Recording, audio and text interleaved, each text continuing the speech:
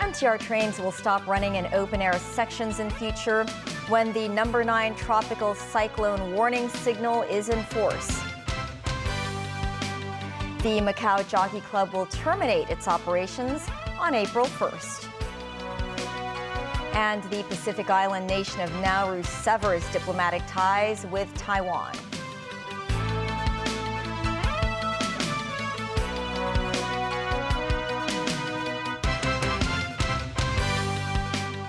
Hello and welcome to TVB News. The MTR decided to stop all services in its open air sections when the increasing gale or storm signal number 9 is active in the future. It said the decision was made out of concerns for safety. A relevant report has been submitted to the government. Meanwhile, the public transport body said it has increased the number of designated train services near the mainland border. Timothy Lee has our top story. The MTR took a beating when it faced the force of Typhoon Koinu last October, during which the observatory issued the increasing gale of storm signal number 9.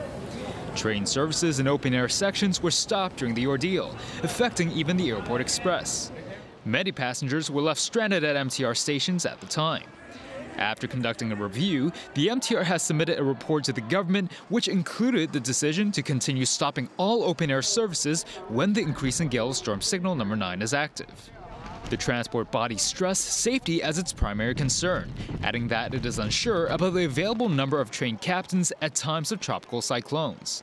The MTR said it will further promote the measure in order for passengers to familiarize themselves with the new arrangements. This as the total number of MTR passengers reached over 90% of the pre-pandemic figure, while the number of train rides increased to close to 90% of the pre-pandemic era. This man said he has to wait for around five minutes for each ride, but noted it was acceptable and that the situation is already better than during the pandemic. Starting next Monday, the MTR will increase train services on several lines during peak hours. They include the Tseung Kwan South Island, Tuen Ma, Tung Chung, and Disneyland Resort lines. The MTR also plans to introduce new trains for its Airport Express in the next five to eight years. Meanwhile, around 40% of the 1 million or so people traveling across the border daily during the weekend are passengers of the East Rail line. The MTR said it has increased train services traveling to Lok Chau station in hopes of diverting some passengers heading to its more popular Lo Wu counterpart. Timothy Lee, TVB News. Macau authorities said today the operation of the Macau Jockey Club will end on April 1st. The termination came after the government and the club agreed to end the operations early. The operations of the Macau Jockey Club was supposed to last until 2042. However, the club submitted a request to authorities to terminate its horse racing franchise due to operation difficulties. The government plans to send 289 horses elsewhere by March next year. With an increasing number of mainland tourists taking photos in areas with potential safety hazards, some mountain climbing experts reminded visitors to take better precautions. The city's political parties also suggested increasing the amount of facilities and amenities in rural areas to improve the travel experience for tourists. This as two mainland tourists drowned in waters off Shek O yesterday. Mountain climbing expert Chung Kin Man reminded tourists to be careful of taking photos at natural sites such as Shek O, Lion Rock, and Tung Lung Chau, adding rock formations in these areas are unstable. Meanwhile, lawmaker Lau Kwok Fan noted authorities can simplify the application process for outdoor activities for consumers to help develop the tourism industry. The Pacific Island nation of Nauru has severed diplomatic ties with Taiwan in favor of restoring relations with Beijing. The Taipei government said it regrets Nauru's decision. In Beijing, the Ministry of Foreign Affairs welcomed the recognition. Nauru's decision was made just two days after elections in Taiwan. Nauruan President David Adeang noted on social media that Nauru acknowledges the One China principle, stressing diplomatic ties with Beijing will be beneficial to all his nation's interests. Nauru has a population of fewer than 20,000, with the nation's income coming primarily from phosphate exports to countries such as Australia and New Zealand. The island nation established diplomatic ties with Taiwan back in 1980. It switched recognition to Beijing in 2002 before breaking off ties in 2005. As of now, only 12 countries still retain full diplomatic relations with Taiwan. But said keeping Nauru strong means the government of Nauru has issued. China called for a peace conference on the war in Gaza as Foreign Minister Wang Yi visits nearby Egypt. Hamas aired video of three Israeli hostages, including one who is half Chinese, and said their fate would be disclosed today. The group that runs Gaza urged Israel to suspend its bombardment. David Garrett reports.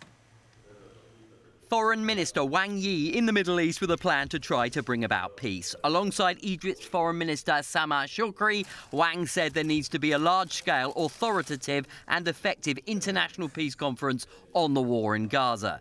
He spoke of a concrete timetable to implement a two state solution. He said there have been massive casualties among innocent civilians. China offered a third tranche of emergency humanitarian aid. Eight of the more than 130 in captivity are Thai nationals. The hostage crisis has affected those far from the Middle East. In Thailand, as the war marked its 100th day, 100 tuk-tuks carrying huge photographs of the hostages took to the major streets of Bangkok. The campaign called for an immediate freeing of hostages. Israel continues to try to dismantle Hamas. The military said it had shifted phases as it released these pictures from Khan Yunis on Sunday. They are now focused on the south of Gaza, Israel said, as they predicted again their war could take many months. David Garrett, TVB News. The U.S. military says a fighter aircraft has shot down an anti ship cruise missile fired from a Houthi controlled area in Yemen towards an American warship in the southern Red Sea. This comes as a spokesman for the Houthi rebels says, U.S. aircraft have been flying close to Yemeni airspace and coastal areas. Tribes loyal to the militia group demonstrated support near the capital, Sana'a, over the weekend. The Houthis have threatened a strong and effective response after the U.S. and Britain carried out airstrikes last week. The strikes were in retaliation for the Houthis raiding commercial vessels in the Red Sea. Iran's President Ebrahim Raisi has condemned the U.S. airstrikes, saying the bombings reveal their true aggressive nature. Foreign Minister Wang Yi held talks with Egyptian President Abdel Fattah al Sisi and Egypt's Foreign Minister Sameh Shoukry in Cairo on Sunday. Among the topics discussed were issues such as Taiwan's leadership election result, bilateral cooperation between China and Egypt, and the ongoing disruption to Red Sea shipping by Iran backed Houthis in Yemen. David Rao tells us more. Foreign Minister Wang Yi, who is also a member of the Political Bureau of the Communist Party of China Central Committee, met with Egyptian President Abdel Fattah al Sisi on Sunday. Wang conveyed the cordial greetings of President Xi Jinping to his Egyptian counterpart, saying the two leaders have established a solid mutual trust and deep friendship. He said the two nations have brought their bilateral relations to the best level in history under the guidance and care of their leaders. They discussed strengthening bilateral relations as well as the ongoing Israel Hamas conflict. Wang also held talks with Egyptian Foreign Minister Sameh Shoukry. He said they achieved a broad consensus on various issues. During a press conference following their meeting, Wang said the result of the leadership election in Taiwan cannot change the basic fact that there is only one China and Taiwan is part of China. He said the outcome of the recent election in Taiwan won't change the prevailing consensus of the international community on adhering to the One China principle. Wang noted that 80 years ago in Cairo, China, the United States, and the UK issued the Cairo Declaration, which clearly stipulated that all the territories Japan had stolen from China, including Taiwan, should be restored to China. Wang said the documents formed an integral part of the post war international order and laid the historical and legal foundation that Taiwan is an inalienable territory of China. He stressed Taiwan has never been a country in the past and certainly won't be a country in the future. Wang called for an end to the harassment of commercial ships in the Red Sea by Iran backed Houthi rebels. He stressed the need to safeguard unimpeded global production and supply chains as well as the international trade order. Noting that the United Nations Security Council has never authorized any country to use force against Yemen, Wang called for refraining from taking any actions that will add fuel to the fire in the Red Sea and raise the overall security risks in the region. Daniel Rahul, TV News. Still ahead. In Denmark, Frederik X is proclaimed the new king after his mother abdicates. Consumer Council tests find contaminants and some allergy causing substances in some lipstick samples it tested. And volcanic eruption in Iceland for the second time in less than a month.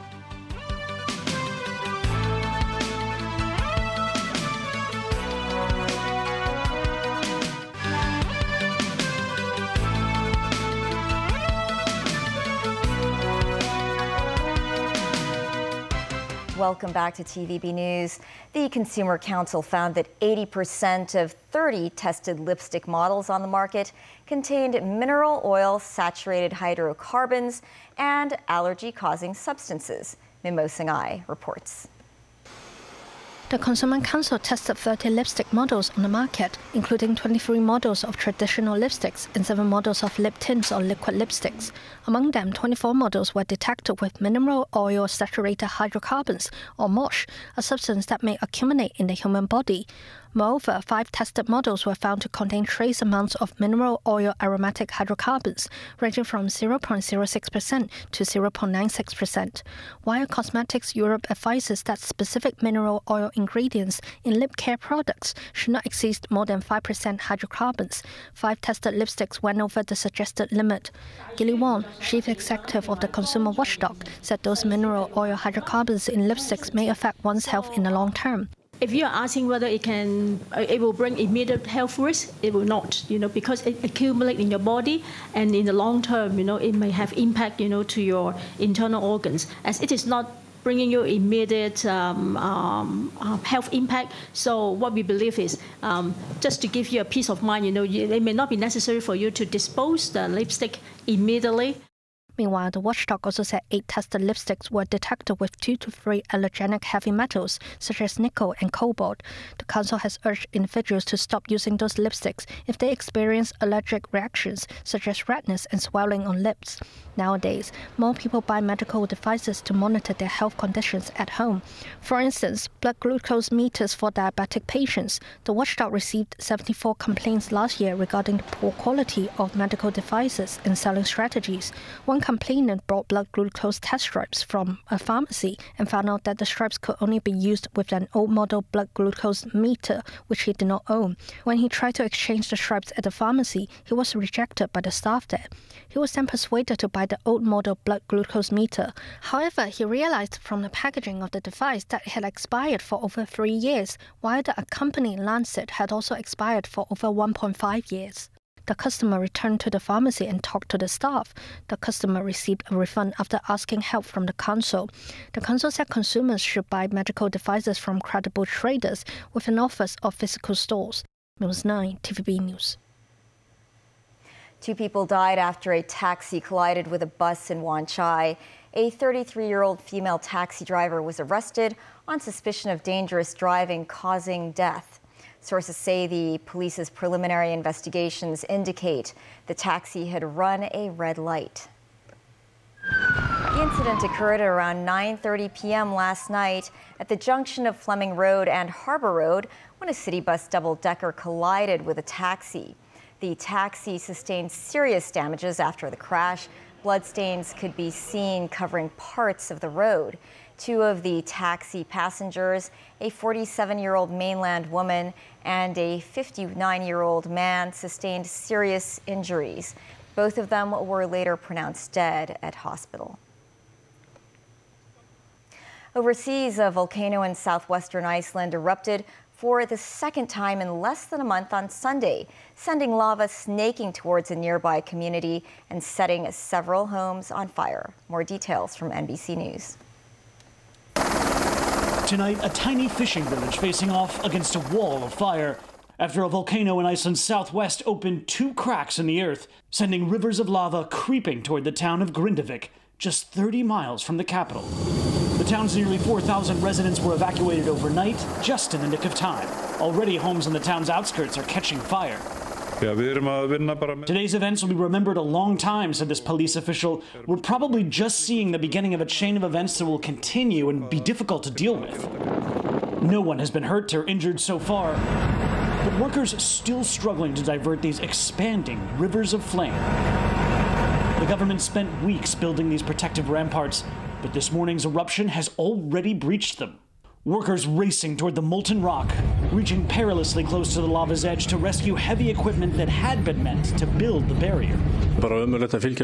It was awful to see the fissure open and the lava reaching the first houses, the town's mayor said. But Iceland is well prepared, sitting on a massive fault line. It's long dealt with volcanoes. Iceland's president said that while this slow motion crisis will damage property, it's unlikely to hurt any people though it has created another awe inspiring spectacle in this land of ice and fire. Matt Bradley, NBC News. It was a momentous day for Denmark as Frederik X took the throne. Queen Margrethe II formally signed her abdication. The 83 year old was the first monarch to relinquish the throne voluntarily for 900 years. The country enjoyed the occasion, with thousands on the streets of Copenhagen to herald in a new era. David Garrett reports.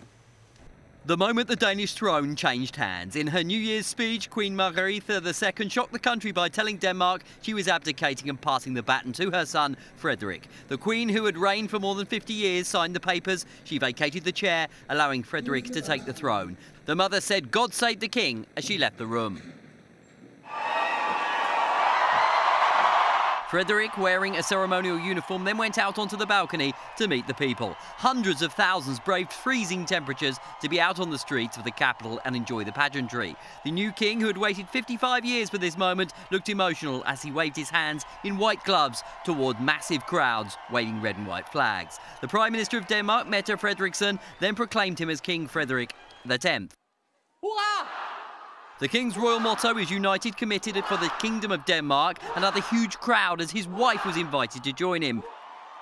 The Queen wowed crowds in her white dress. The abdication leaves Denmark with two queens. Margrethe keeps her title, while Frederik's Australian born wife becomes Queen Mary. The ceremony was watched in huge numbers by Australians on television. The couple met in 2000 at the Sydney Olympics and got married in 2004. They were joined by their four children. Frederik and Mary's eldest son, 18 year old Christian, has become Crown Prince and heir to the throne. The King and Queen then rounded off a historic moment after a moment of hesitation, sealing it with a kiss. He will be fantastic. And, and we, are... we loved his speech and, uh, and his uh, everything he said, and, um, and, we're looking so much forward to uh, to him being our king yeah. for now. It was uh, good, a bit emotional also. Um, it's new times because I, I love the, our, our queen as well. Copenhagen partied into the night, fireworks lit up the sky over Tivoli Gardens. The statue of Hans Christian Andersen looked on as Denmark starts a new chapter in its history. David Garrett, TVB News. Thanks for watching. Pearl Magazine is up next. Bye for now.